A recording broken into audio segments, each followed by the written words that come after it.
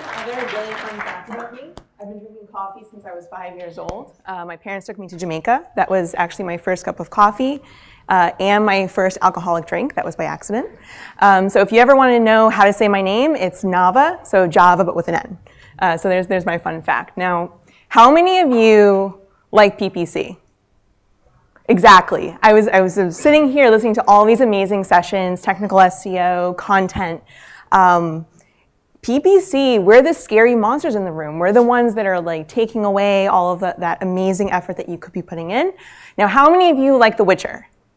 Yeah, all right. See, so half the reason that I'm here presenting this to you is because I've been looking for an excuse to talk about digital marketing with The Witcher. It is my absolute favorite game. And one of the reasons why Geralt of Rivia is such an inspiring guy and such an inspiring hero is yes, sometimes he has to attack the monster in the room, but more often than not, he talks to it. It's a puzzle solving. So today we are going to explore how we can turn your digital marketing quest into instead of just hitting it over the head with a sword, you're actually going to solve the problem. You're going to lift that profit not by drowning yourself in analysis, but by actually taking action. So a little bit about me. Um, as uh, Deepak mentioned, I've been in digital marketing since 2008. I actually did a little stint in SEO, uh, made the switch to PPC uh, in 2012. Uh, I work at WordStream. I work across our international customer base, talking to advertisers, agencies, uh, and you'll notice that little puppy over there, HK47. Uh, I'm also a big Star Wars nerd, so he's named for the assassin droid.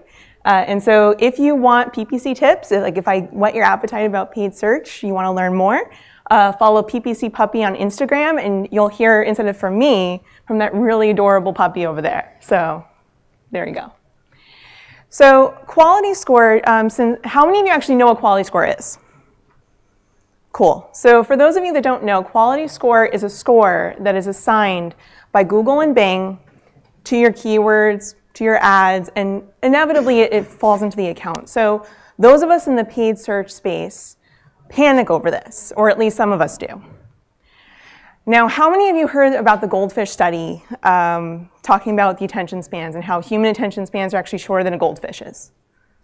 All right, so I just told you about the study. And it was actually disproved. And if you look for the goldfish study on the same search result page where the knowledge graph will tell you about it, you'll actually see the post talking about how we're actually task dependent. So we are actually capable of great focus, but only if we care about what we're doing. So all of you here are proving this point perfectly. You have been sitting here taking in all this amazing knowledge, and you've been focusing, you've been absorbing, you've been taking down notes. So we have attention span if we actually care.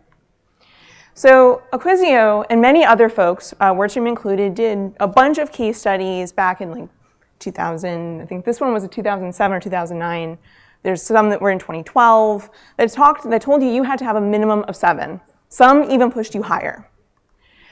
And in the US, um, and there's a little bit of variance internationally, but in the US, the average quality score is a 5.6. And that makes sense. Google will start you off with a 6. 5.6 is average.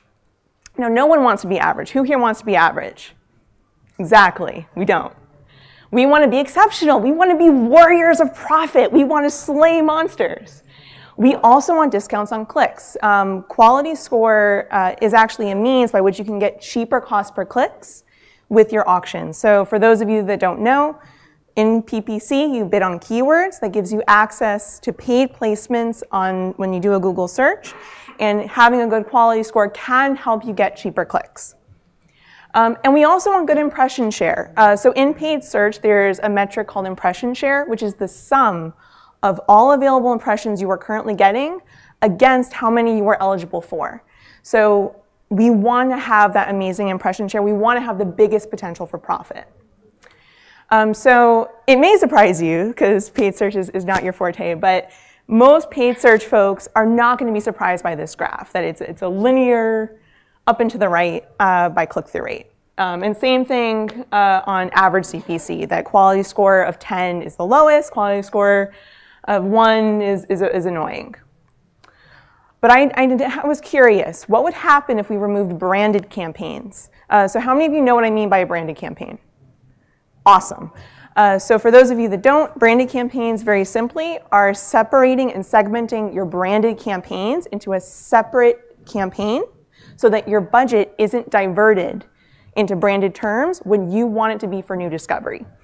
So what happened when we did, uh, we took the branded campaigns out, we filtered those, we actually started to see far more variables in where the best click-through rate was and where the best cost per click was.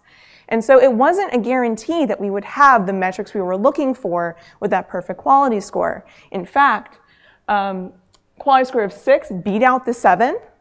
Uh, we also saw that quality score of nine beat out the 10 with a, uh, with a better click-through rate but a flat cost per click.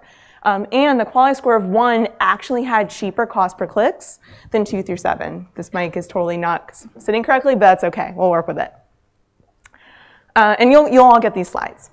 Uh, so impression share with and without branded followed a very similar trend. It wasn't a guarantee that we would have that perfect uh, capture of the market simply by having a perfect uh, quality score. Um, and conversions, that big spike, is the branded campaign. So branded campaigns are predisposed to a better quality score. But let's actually dig into why. So, oh, well, actually, first quality score of uh, two and three beat out the five on impression share. Um, the gap really did close on the 8 to 10 conversions when we removed branded. Um, and quality score of 6 beat out 7 on conversion. So again, not a guarantee that you're going to have better metrics with a better quality score. So this is actually where the SEOs in the room get to have fun with the PPC folks. Uh, so what is the most optimized page of any website? Exactly, thank you. Um, so the home page is going to have the best quality score. The branded campaign is going to lead to the home page. So you're going to have the best quality score, you're going to have the best conversions. Now, perfect keyword to ad to landing page relevancy is actually one of the core components of quality score. So if we're looking at branded, you bid on your branded term, your brand is in the ad, your brand is going to be on your landing page, perfect keyword to ad to landing page relevancy. And then that higher click-through rate and any other positive metric is going to be expected with a branded campaign. So let's take a step back and acknowledge that different campaigns, different initiatives are predisposed to different metrics. If you're in a really niche industry, if you're running a competitor campaign, if you're running, uh, Jason and I were talking about the other day about dynamic search ads or DSAs, like there's going to be different metrics. And just because we have a great quality score does not mean our ROI, our return on investment, is the same. So let's look at this um, example client. Um, I'm going to move over here, and I'm totally going to cheat and look at my slides. Uh, so in this particular instance, we have three markets. So it's the same service, but three different um, local markets. We have San Francisco, Denver, and East Bay. Equal quality score, average of 7.1. Yet, if we look at Denver, that cost per acquisition is half of East Bay. Same quality score. If we look at the um, conversion rate of the 7.43 versus 3.28, it's ridiculous. So even though the conversions are the same on Denver versus East Bay, I am 100% more comfortable putting more money in Denver than East Bay. And again, San Francisco is doing well. Like I'm not upset with the performance, but I definitely am not comfortable leaving that $50 a day on East Bay if Denver is doing better. So I'm going to say something that I want you to put into your heart. If you take nothing else away from this conversation, quality score is a health indicator, not a KPI. It is the most important thing if you remember nothing else from this talk other than Witcher and puppies and Star Wars. Quality score is a health indicator, not a KPI. So how do we begin treating quality score as that health indicator? How do we help it to, or how do we allow it to help us to focus? So first, let's acknowledge what the different metrics are. So as I mentioned, ad relevance. So what is the copy of the ad to the keyword? Um, what is the landing page experience? And what is that historical click-through rate? So if we solved for all of these components, we would build out the perfect character. We would have that amazing Geralt who's gone through new plus games five times and he has literally all of the equipment. It's great. So Number one, click-through rate. How many of you get really frustrated when ads are in the top of your phones? Like I do. It's, it's really annoying, and I, I'm the one that markets them. So what's really fascinating, sorry, what? Yeah, exactly. um, so what's really fascinating is that in this mobile first world, you actually have to go, if you're going to look for mobile, for that position one to two. Desktop and tablet, it's perfectly fine to be in position two to three. You don't need to be an ego hound. But for mobile, you actually have to be in that first position because it's the only spot, whether it's paid or organic, that's guaranteed to be above the fold. So when that click-through rate drops, we're going to see that issue with the cost per click. Like if, decide if mobile makes sense to actually invest. Also, how many of you work in, we'll call them high niche industries or the cost of service is really expensive? So for those of you that do, your volume may be less, so you will be predisposed to a lower quality score on your paid efforts than, than otherwise. So you may have to decide that organic is where you put the majority of your new customer focus, and paid is where you rekindle the customer, where you nurture them. So rather than having to hunt for a whole bunch of new folks, you instead go after um, expanding existing customers. Um, and I'm going to throw this out there. How many of you hate advertising, like, or hate ads? All right, I will say that I hate some ads. I get very aggravated at boring, bad ads. And those kill click-through rate. Like, look at these ads. Cambridge Dentist, Cambridge Eye Dental. Who, what problem is that solving? Back Bay, Boston Dentist, um, Gentle Dental, Cambridge Quality Affordable Care. Um, I do want to point out for those of you in the room, um, Google has started taking up the local spot. Um, so if for those of you that have claimed your Google My Business, and you sync that to your Google Ads account, you actually can, so long as you're, you're bidding on ads, get that spot for free. And you don't have to like do an extra step. So the reason why this aggravates me is there's this new ad format, expanded text ads. You now can have up to three headlines. Look at what this poor dentist did. Award-winning service, call today, now booking new patients that beautiful description that would have given that point of differentiation, it would have told me that they're accepting new patients because there's nothing more annoying than calling someone up and then they won't take you. That's in the description where no one will read it versus Cambridge Dentist, Cambridge Dental. So let's, if for those of you that are, are going to advertise or, or that do, do ads, take the time to look at your descriptions, see if there's copy you want to now put into your headlines. And it's also really important to acknowledge that bad account structure kills everything, quality score included, but more importantly, it kills click-through rate, it kills impression share, it kills time because certain account structures are predisposed to be time sucks. So I want to show you how Google will treat your account. This is a, a campaign with 25 active ad groups. One ad group is responsible for 60% of the impressions, and it has nothing to do with the quality of the keywords in that ad group. It has everything to do with the fact that that ad group won, there was a proven entity, and Google was really excited to put more and more budget behind something that was proven rather than waste your, your time and money on something that hadn't yet proven itself. So be mindful that you want to make sure that there are no more than five to seven ad groups per campaign and then if you need to go more, odds are it's a new campaign. Cost per click is going to be different. Also, let's take a look at what happens when broad match enters into new patients. So how many of you know what broad match is? Okay, so BroadMatch, uh, for those of you that don't know, uh, allows for Google to match the keyword that you bid on to a synonym of the term. So for example, best price dog groomer San Francisco matched to my poor client's ad for aggressive dog training. I don't care how much my client is wonderful and a sweetie pie and could probably groom a dog. Those are not the services that they are looking to sell. So that query, best price dog groomer San Francisco, has no possibility of profit. So we want to be very careful about how much broad match we're using and how much that's pulling us into auctions that don't quite make sense for us. Now, another thing to be wary of, so on the paid side, we have something called the search terms report. Uh, it's our equivalent of the search console.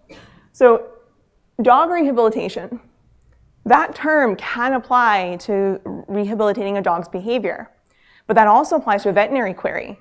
So that uh, cruciate ligament surgery dog rehabilitation cost 162% more than the average cost per click, yet would never have the potential to prove profitable. So it's really, really important to be mindful that even if a term is not on broad, is it broad enough? Is the intent of the keyword broad enough that it could pull you into an auction that will never be profitable enough for you? Um, so for those of you that don't know Witcher, um, I need to explain this, this analogy. Um, so Geralt in, in the games is torn between Triss and Yennefer. We all, for those of us that have read the books, we know that he goes with Yennefer, but in, in the games, it, it could be either or. So it's really important to acknowledge that there may be keywords that need to get paused. There may be initiatives that need to get paused. But we also need to take a step back and assess, are we putting them in a position that they are predisposed to lose? So for example, if you have 80 keywords in your ad group, only one or two of them are going to win. You might have your best possible performers in there, but they get no access to budget. You have no idea that they could have performed. So it's also really important to be mindful of what the landing page does to this equation. So when we make a promise in an ad, um, and we are making promises in an ad. So on the organic side, we earn those spots. On the paid side, we're willing to invest because we are owning the journey of where the user lands, and we are making a very specific statement with it. So if we're sending people to the ability to start dating, and then we're sent to a directory, we are not happy. Like we were ready to start looking at people, start swiping left or right, and we get this nonsense. It's not good. And we also don't want to put people to sleep with a slow loading sites. So there were some great sessions today talking about how to make it faster. Don't put people to sleep. We also don't want to make people hunt for a wall or through a wall of text when it comes to a, a mobile experience in particular, but even on desktop. And it's really important to acknowledge that on the paid side, those people are ready to buy, they're ready to engage, they're ready to, to um, transact. We don't want to make them read. We, they've already done that. We're paying for the, the ability to get them to engage with us. And we also don't want to have a terrible mobile experience, period. So how many of you have gone to a, a, a site on your phone, you tried to call, and it wouldn't click? Like it wouldn't call on the phone. Yeah, so that's this, this, this site. Like, look how big and beautiful that number is, and it's not, it's not, it's not linked to the phone. Like, they can't call from it. So what a waste. They paid a premium to send someone to this otherwise perfectly fine site, and they probably lost the call. So how do we begin chasing quality instead? What are the main metrics we can use? And um, I'm happy to, in, in the Q&A, kind of work through how we can make it a little bit more aligned to SEO, but um, on the paid side, what, is, what does it look like? So a campaign is going to underperform if it's trying to do too many things. Um, it's, it's really important to think about the locations, the schedule, the strategic initiatives that you're looking to do. But it's also really important to think about how much time are you giving it to succeed. Ah, there we go. So on impression share. Um, and this was done across WordStream data. Um, so it's, at this point, we have 1,000 accounts uh, that are active, and then we have, uh, I think it's 75,000 uh, that run through our grader, so that, that's where this data set comes from. Uh, so on US impression share, the average impression share is 47%. So average is getting less than half of all available impressions. But it's not lost a budget. It's not like you, we can't afford the, these views. It's rank. It's structural things that we could solve for. So uh, we have a tool called the query stream that, that will kind of pull these things for you. Um, but the search terms report, you can, you can do a very similar thing where you just pull in the column of the match by keyword, see what term is leading to the best idea. So in this particular instance, professional dog training, matched to in-home dog training off of Broad, it was 3% cheaper, and every click led to a conversion. So of course we would want to transition from in-home dog training to that professional dog trainer. Also, what parts of the budget, or what parts of our campaign and our businesses don't deserve access to budget? Um, I'm sorry, Triss, you're a liar. I think my mic just went, but I don't care. We're going to keep going. Um, also, match types. Um, modified broad um, which is the most common match type now that like broad match and things have, have gone away. Um, do you need me to stop while the mic is off or tell me? All right, we'll, we'll, we'll keep going. This, ah, thank you. Joy. All right, are we good? We're good. Okay, so um, you'll notice that logo design is, a, is the main kind of common denominator term, and we have it here. It got the majority of the impressions, whereas logo design online tool, which was actually what the client wanted, got my relation oh, on the majority of the impressions. It only got 2,961 and 17 conversions at a cost per acquisition of 45.73. It could have done better if that really stupid logo designs two word keyword wasn't there. So be mindful of the match types, be mindful of the long tail or short tail nature of the terms that you're bidding on and how it can cause those structural issues. Now, the other piece to think about is ad copy. So these two ads lived in the branded campaign. You're going to get this deck. Actually, how much time do I have? Nine. Nine? Cool. All right, we're good. So this particular ad had a um, 129 conversions versus uh, the 33 on this side. No brainer to actually greet the prospect. So that ad did well because uh, we're haggle we're haggle free. We address the, the, the issue of the um, or we, we address the the problem the person might be facing. Just be be mindful of, of what the prospect is searching for. Um, now, how many of you have heard about in-market audiences? Cool. So Google, in its infinite wisdom, decided that it was going to play Facebook's game. And it actually does it quite well. So you, all of you right now, if you wanted to play with paid search, excuse me one second. Sorry about that. Um, if you wanted to play with paid search, you could actually target people who are in market for SEO and SEM services and bid on them exclusively if you wanted.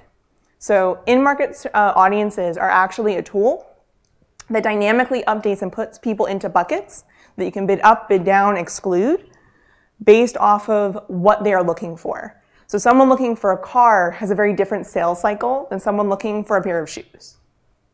And Google and, and Bing, to be fair as well, will account for that. Oh, God darn it. There we go. All right, so we're going to finish off with a case study and some action items, and then I'm happy to take your questions. So uh, Koro Canine, the client that I was talking about before, they are a dog trainer that work with like the worst of the worst dogs. Not that the dogs are bad, but they have like the worst experiences. And they offer both uh, board and train and uh, in-home training classes. So show, show of hands, how many people think that Koro Canine was happier with me when the CPA was 2513 versus in May when it was 4502?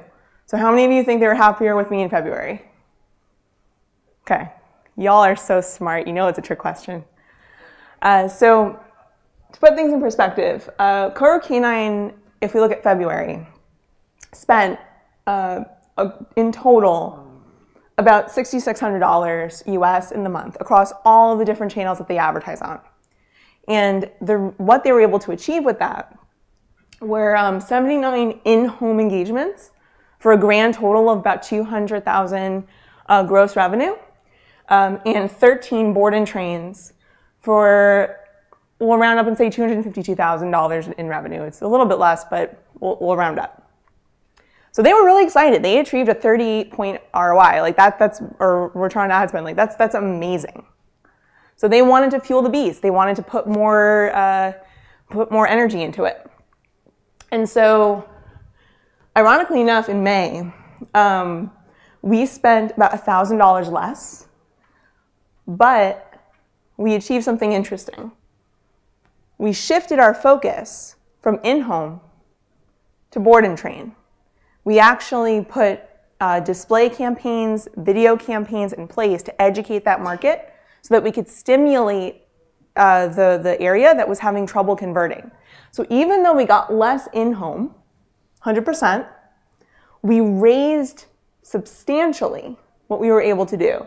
So in total, we had $333,402 all in all in May. So even though our CPA was higher, well, of course it was higher. We were going after a more expensive service. The cost per clicks were going to be higher. Our click through rate actually improved because we were able to get people stimulated in, in, in, in the market. And yes, our quality score went down a little bit, but ultimately we achieved that positive ROI. We did better by 130%. So here are some action items that if I've inspired you to take a look at paid search, great. If I've inspired you just to have, know enough that you can have your conversation with your paid search person, that's great too. But here are some action items to take home. Number one, quality score is a health indicator. It's not a KPI. We must learn to treat it as such. Uh, number two, do not ask your campaigns to handle more than they can. It is vital that we are actually honoring the strategic intent of each campaign um, and we are not tasking it with too many things. We want to make sure that branded is separated, that it doesn't have the ability to spike the performance, to steal budget away, that otherwise could be going to new discovery. We don't want to force poor Geralt to be a, a, tax guy or like live in a, in a world where he's not a, a monster slayer, just like we want to be the best in our industry. We want to honor the fact that our industry might have certain metrics and norms. We don't need to be the best in everything. Um, and finally, we want to make sure that we are judging ourselves not by vanity metrics like an increase in quality score, or even really by click-through rate, but that the return on ad spend, the ROI, is truly positive. And with that, thank you so much for letting me share some tidbits with you on PPC.